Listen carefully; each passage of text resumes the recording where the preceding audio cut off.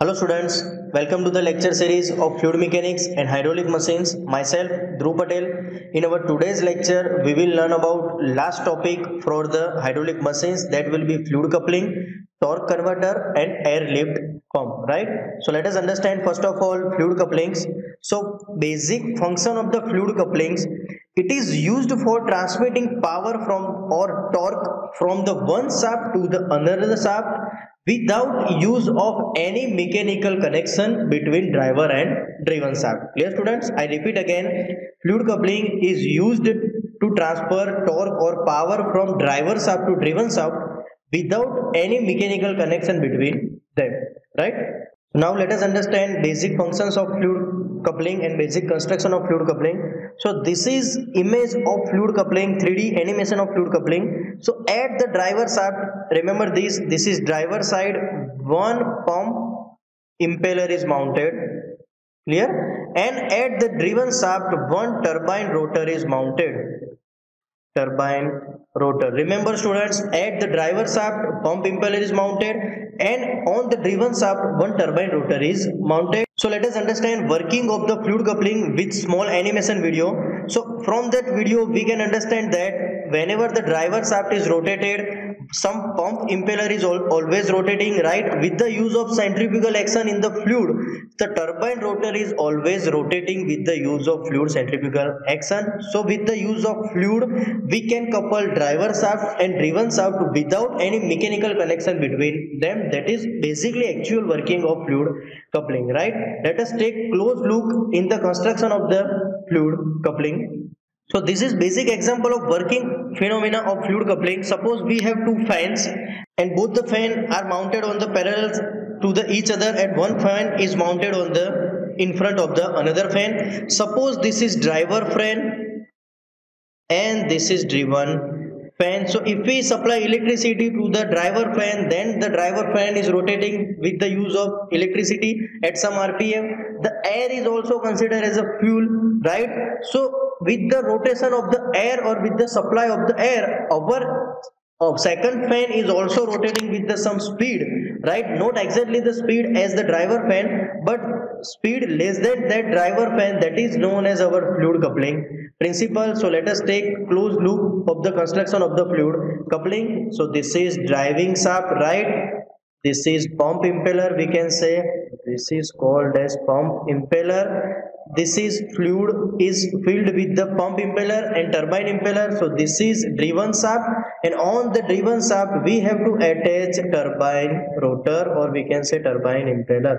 So this is turbine rotor right? So power of the pump impeller will be transferred to the power of the turbine rotor with the use of fluid action. Now one simple question arises in our mind that why sir we have to use pump impeller at driver shaft and turbine impeller at other shaft so let us understand answer of that question from this sketch right?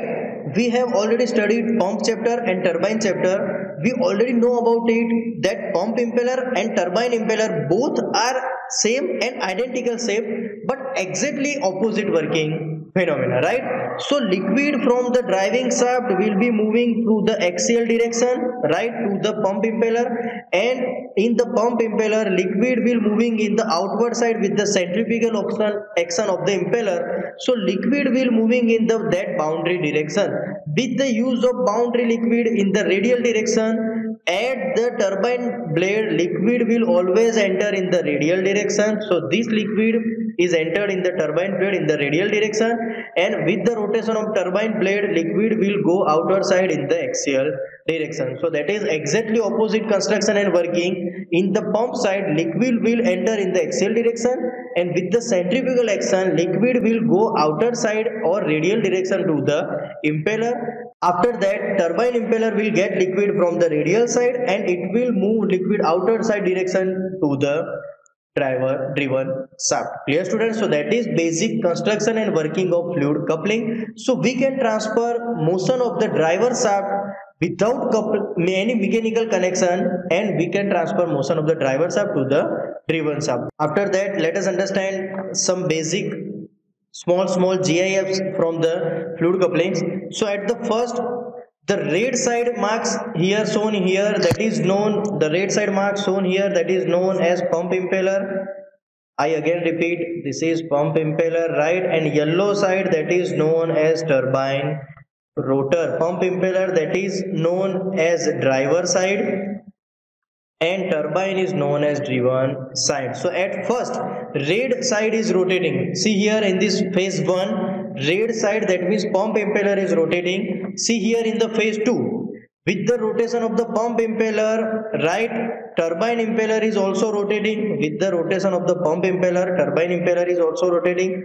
And at the phase 3 during the high speed of the pump impeller turbine impeller is also rotating with the high speed because of the transmission of the power from the fluid. And at the last speed if we decrease the speed of pump impeller then speed of turbine impeller is also decreasing. So here at the last if we decrease the speed of the pump impeller then turbine impeller is also decreasing speed clear students so that is basic construction and working of the fluid coupling right students so let us revise this GIF construction again. So at the first, whenever the only pump impeller is rotating, right? At the second, when the pump impeller is rotating, the turbine impeller is also rotating. In the third example is given that if the pump impeller is rotating in the higher speed, then turbine impeller is also rotating in the higher speed, right? So in the third, we will get if the pump impeller is rotated at the higher speed, then turbine impeller is also rotated at the higher speed. And at the last, if the pump impeller reduce its speed,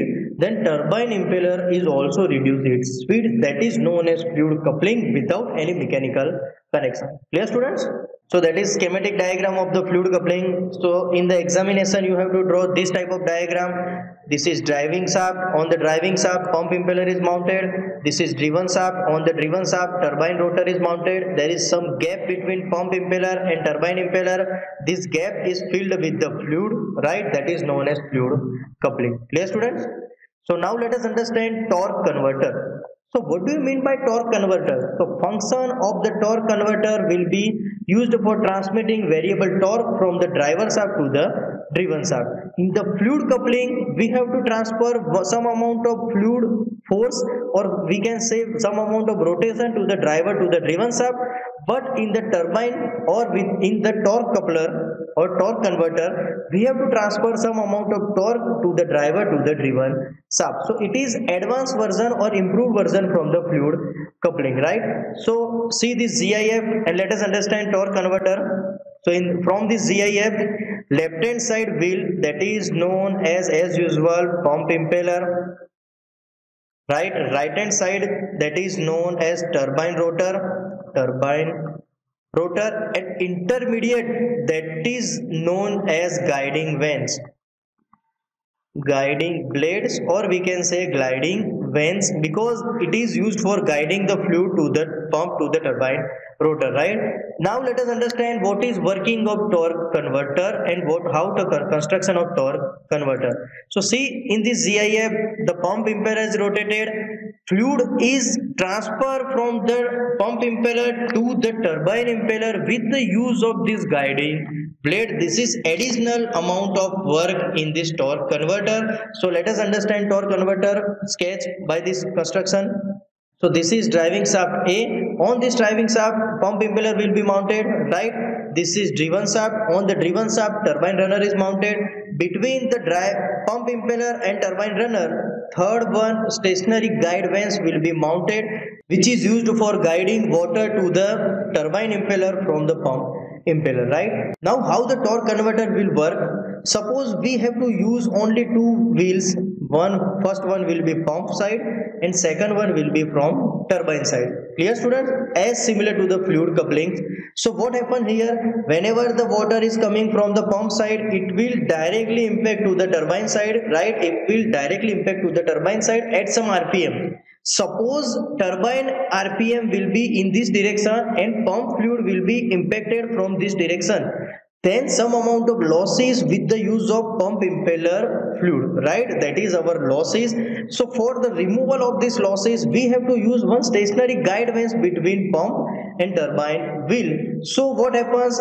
Some amount of fluid will be coming out from the pump impeller, right? It will go to the stationary guide vanes and the guide vanes guide the fluid to the turbine blade at some particular angle. So rotation of the turbine wheel it's increasing right? And we can get multiplication of the torque. So after that multiplication we can obtain multiplication of the torque at the every stage. So we will transfer torque to the driving shaft to the driven shaft. Clear students? So use of stationary guide vanes is to guide the fluid at some angle or at we can say at some, some suitable angle to the turbine blade. So turbine blade can rotate or we can transmit some amount of torque at higher rate than fluid. Coupling that is purpose of torque. Converter and with the use of stationary guide vanes we can do multiplication of the torque. So at the last stage we can find we can transmit torque from the driving shaft to the driven shaft. That is basically working of torque converter. Yes students? And at the last let us understand air lift so function of the air lift pump is used to lift the water from the deep well or sump by using compressing air right? We can use submersible pump for that purpose also but we all already aware about it. Submersible pump will be located in the downward side of the water right? For the maintenance purpose or any other work purpose we have to moving in the downward side and then we have to take submersible pump to the outer side. That is very much difficult. So we are using here air lift pump which is compressed air lift pump and then we have to take lift to the water right? So let us understand basic construction of the air lift pump. So this is borewell here. In that borewell this is water outlet pipe. From that water outlet pipe from the outer side we have to attach one air compressor here. From the air compressor one air pipe will be attached here with the use of air nozzle. Remember this at the end of the air pipe one air nozzle will be mounted with the use of this construction we can get some amount of water at the outer side or particular height clear students so let us understand basic working of the air lift pump. So whenever the air compressor is started, here some amount of compressed air will be moving from this delivery pipe with the use of air nozzle. The function of the nozzle is to find spray of the air in that delivery pipe, right? In that delivery pipe, some amount of water is always mounted with the particular small edge height, right? So water is available at this height, small H, right? If we supply some amount of fine amount of water, fine amount of air spray in that water, then in this side, remember student, in this side, what happens? In this side, water plus air will be there because from the compressor some amount of compressed air bubble will be there. So in this side in this circle some amount of water and air will be there so density of water and air mixer is always less than density of water which is stored in bore well, right? So at the outer side of the bore well, higher amount of water will be there and at the inner side of the suction pipe lower amount of density of the water and air will be there. So pressure got reduced here in the uh, inner side right so water will be always moving in the higher side water will be always moving to the lower side from the higher side. So here higher density of water in the outer side of the borewell. So from the outer side of the borewell water is moving in the lower density side of the pipe. So from that construction water will moving at the some particular height h and we will get water at the outlet section with the use of density difference right? So this is simple construction of the air lift pump we have to simply mix the water and air at some particular level so this is lower density than the outer fluid right so due to that density difference water will naturally move to the delivery pipe and we can get some amount of water at some particular height h so there is some limitations of the air lift pump also. We can only obtain water at some particular height. We cannot obtain water below beyond that particular height. That is basic limitation of air lift pump. And there is one advantage also that is compressor is mounted at the outer side of the water. That is maintenance cost is low for this air compressor or we can say this damage is less for this air compressor. So with the use of this compressed air we can get water to the outer side of the borewell right so that is it from the today's point of view thank you for watching my lecture and keep revising fluid mechanics